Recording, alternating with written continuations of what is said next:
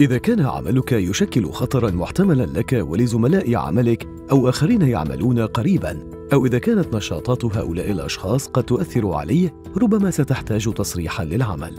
تصريح العمل يجب أن يتضمن تقييما واضحا للسلامة مع ذكر كل المخاطر وإجراءات السلامة ويجب أن يكون متوفرا في موقع العمل. تذكر أن تأخذ بعين الاعتبار أي أعمال أخرى قريبة التي قد تكون قائمة في نفس الوقت. قبل بداية العمل يجب أن يعلم الجميع ماذا عليهم أن يفعلوا ويجب أن يكونوا مدركين للتعليمات الموجودة في تصريح العمل كل المشاركين يجب أن يتبعوا التعليمات وإجراءات السلامة وخلال القيام بالعمل يجب مراجعة تصريح العمل باستمرار عن طريق الشخص المسؤول خصوصا إن كانت هناك تغييرات مثل تبادل نوبات العمل الأسئلة التي يجب توجيهها هي هل ما زالت ضرورية؟ هل يفهمها أطراف العمل؟ هل تعليماتها واضحة ويمكن اتباعها؟ هل تغير شيء منذ إصدارها مثل الطقس؟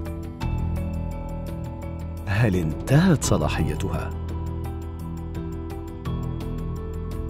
ربما ستحتاج لتصريح عمل من أجل لحام وقطع المعادن والحرق والعمل في أنظمة تتضمن طاقة كهربائية أو ميكانيكية مخزنة ستحتاج تصريح عمل إن كان عملك يتضمن العمل في منطقة مغلقة خصوصا إذا كان الدخول أو الخروج صعبا وإذا كانت التهوية وحركة الهواء سيئة.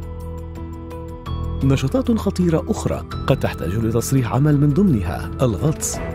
العمل في المرتفعات العمل في الخنادق أو فوق الماء وأعمال تتضمن مواد خطرة أو سامة أو مواد قابلة للاحتراق أو مشعة أو متفجرة.